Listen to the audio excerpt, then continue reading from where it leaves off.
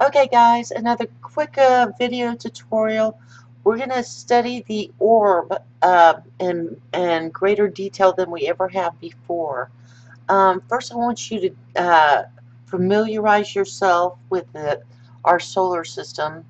Um, right here is our asteroid belt. Then we have Ceres. Um, uh, Ceres is a dwarf planet. I don't know if you knew that we had a dwarf planet right here in our asteroid belt, but we do, right between Mars and Jupiter. Um, now over here is the Kuiper belt, back behind a Pluto. Eris right here is also a dwarf planet. Um, but we're wondering, or some people are wondering, if Vesta, which is a, a large asteroid, is actually uh, what we're picking up in the orb. Well, I'm going to go into great detail about Vesta and Ceres, but I'm going to use NASA's own propaganda videos uh, to kind of help um, help me explain and help educate you. The reason why is because I don't own my own satellite, so, so I have to rely on uh, NASA's tools. Um, but Vesta which is a very large asteroid, is located in the asteroid belt between Mars and Jupiter. And here's Ceres right here, Earth down here. Now Ceres is a, a dwarf planet. So, um, and again, I, it is not the orb that we've been studying. Now these are some other asteroids uh, that are known, but notice, I'm going to let you take a moment to look at them. Notice there's not a huge, huge, deep impact crater on any of them. Um, one of them I jokingly think of as the space of Viagra because that's what this looks like. It looks like some kind of pharmaceutical. But notice the different sizes, the different shapes, the different colors. Uh, this one's yellow, this is greenish, this is bluish. I mean, they're actually quite beautiful. This one is very, very dark, kind of a dark grayish black. Um, but these are the known asteroids um, that we're aware of. But what we've been looking at in the all sky cams, that orb, it doesn't match the description. But let's let me um, show you a quick video tutorial I put together for you guys. Um, it kind of explains it better. Okay, let's start it here. Um, we're going to start on July the 28th, and we're going to go um, previous month and previous month, so you can see the. Now, I wish I could put some music together for you, but uh, YouTube keeps telling me I can't put music because it's copyrighted. but I think this would go better if it had music to it. it would be a lot less uh, uh, quiet and boring. But anyway, notice the, the, the deep impact crater right there. You can really see it. Um, this is I put the time lapse on slow so you can take a really good look at it as it rotates out into the sky. Now remember that an orb is a reflection of one of the planets of the moon or moons in the Nibiru system.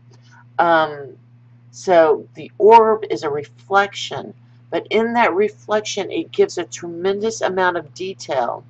Um, and the tremendous amount of detail that we're noticing is that huge, giant impact crater. Now, on on this, I left the good, the bad, the ugly, and even the bugs because I wanted you to look at it as if you're looking at it from your own telescope. And hopefully you guys have uh, hooked up your telescopes, gone to a pawn shop or off eBay, got a cheap reflective telescope, and you've hooked up your either your cameras, your cell phones, or you've got a pair of binoculars um, that has a camera in it, or you've gone uh, the other route and bought your own webcam for your telescope so you can look at these images yourself, take them yourself, and study them yourself. Notice the plasma that's coming out from behind the sun? The orb is giving off a tremendous amount of heat. And notice I left the clouds in because when you're looking at through your telescope, you're going to see a lot of clouds. But notice, I'm sorry, I gotta make jokes, but it's true, you're gonna see a lot of clouds. But notice as the time lapse goes on and the day goes on, it gets fainter and fainter. Uh, the best time to see those orbs are in the morning time. Um, it used to be the best time to see the Nibiru system, um, which would be to the west side of the sun, was in the mornings. Now you can see it in the mornings to the west side of the sun and really good in the evenings on the east side of the sun. Um, now this is from June the 28th, so this is one month previous. Again, you see that little black dot starting to show up right here in the corner. I don't want to put my cursor on it too much. Um, but watch it rotate out into, in, into the sky. And notice as the day progresses, it gets harder and more difficult to see it. And I hope you guys have this on full screen because it's so much better to see. If you got it on a little screen, it's going to be very difficult to see. Because again, we're looking at the images and the reflections of that orb. There's that uh, big, deep in impact crater or the black hole in the middle of the orb.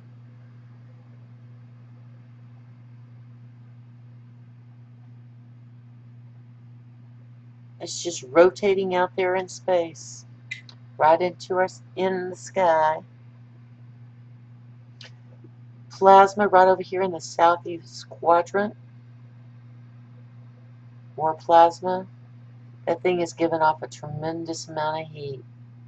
Notice you even see pink behind the sun. This right here is more plasma.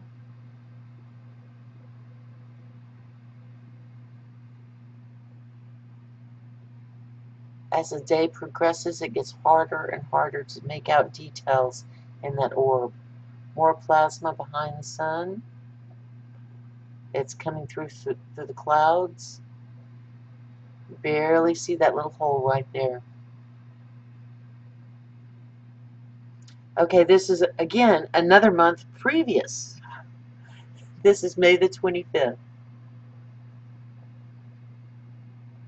Notice the time lapse starts off around 10 o'clock in the morning, a little after 10.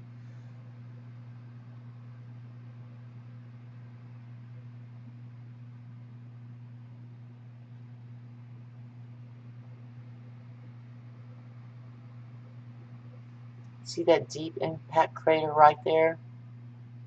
Right there at the top? See right there?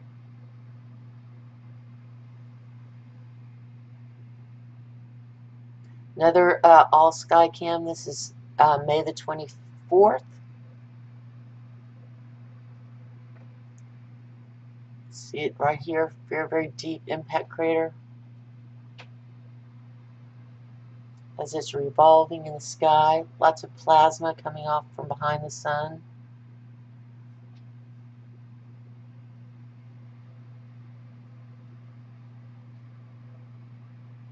More plasma.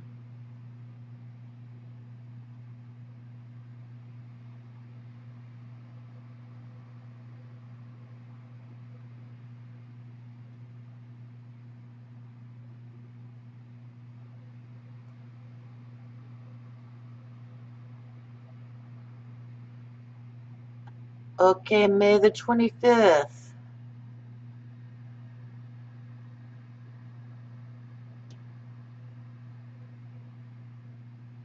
This is starting out at 11 o'clock in the morning.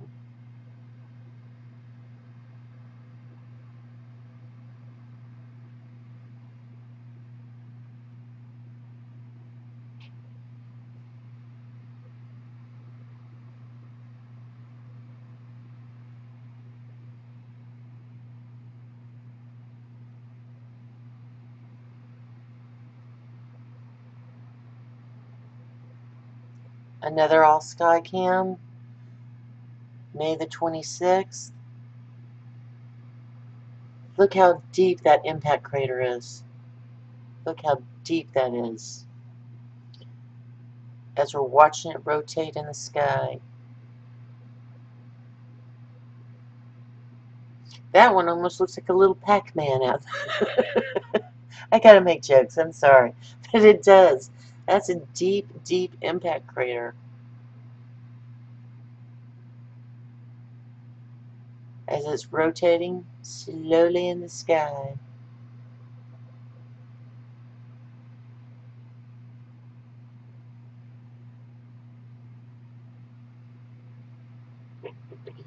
Now some NASA propaganda, but again, they have the satellites and I don't. The dwarf planet Dawn's been orbiting for more than a year now, providing us with fascinating views of the alien world.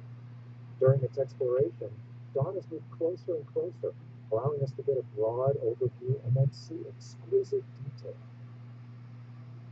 This is Ahuna Mons, the highest mountain on Ceres. Towering in an otherwise unremarkable area, it seems very odd that it rises so sharply, and geologists still don't know why.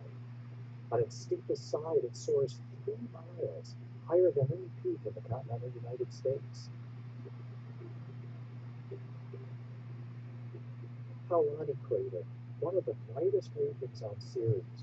It's about 21 miles across. Its well-defined shape indicates it's relatively young, the impact that formed it only occurred in recent geological times. You can see a substantial amount of bright material, which the latest analyses indicate may be a kind of salt. This is Oxo Crater, which shows more of this intriguing bright material inside and out, as well as a peculiar shape. At six miles in diameter, this is the second brightest feature on Ceres.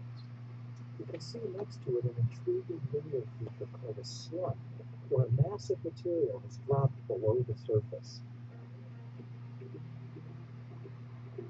This is Urvara crater, about 105 miles in diameter, although not the largest on Ceres. Although many craters have a mountain in the center, Urvara has a prominent double peak. surrounded by rough terrain and linear parallel grooves. The Occator crater, 57 miles across and 2 miles deep. As dawn closed in, what initially looked like one spot became two and eventually a multitude of features. This reflective material makes it the brightest region on Ceres. The crater also appears to be among the youngest on Ceres. Dawn mission scientists estimate its age to be about 80 million years, which is quite young in geological time. Dawn is now orbiting over 240 miles above Ceres, which is closer than the space station is to Earth, and it will continue to return spectacular views. I'm going to stop this right here so you can uh, so I can read it to you. Uh, this is an animation based on data from NASA's Dawn spacecraft. It starts with high-resolution black and white images of the giant asteroid Vesta wrapped into a 3D shaped model and transitions to false color images.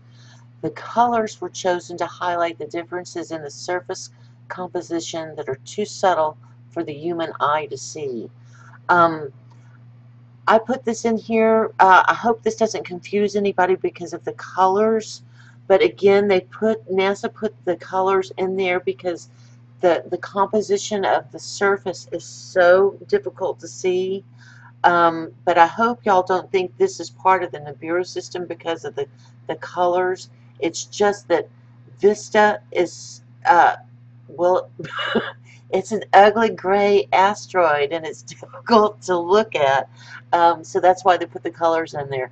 But I did want to stop here and make this perfectly clear before I, I put on the Vesta. So um, this is the asteroid Vesta. Let, let's see NASA's presentation.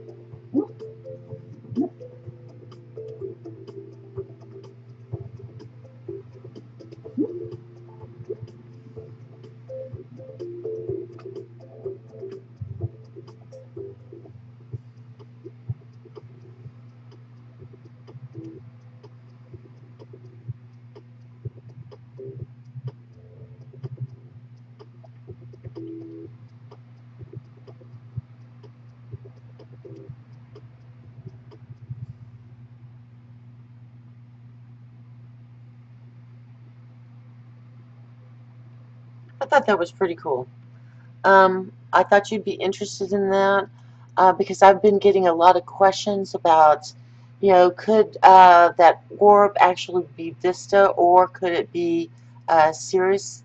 Um, and I said I I said it would be it would take too long for me to explain it to you in an email so let me do a video on it a video tutorial so everybody can learn together and again these are the known asteroids uh, that was a Vesta that we just saw and it, it all of them have impact craters but no deep deep impact crater like what we've been seeing in the orb and it's not the uh, dwarf planet Ceres.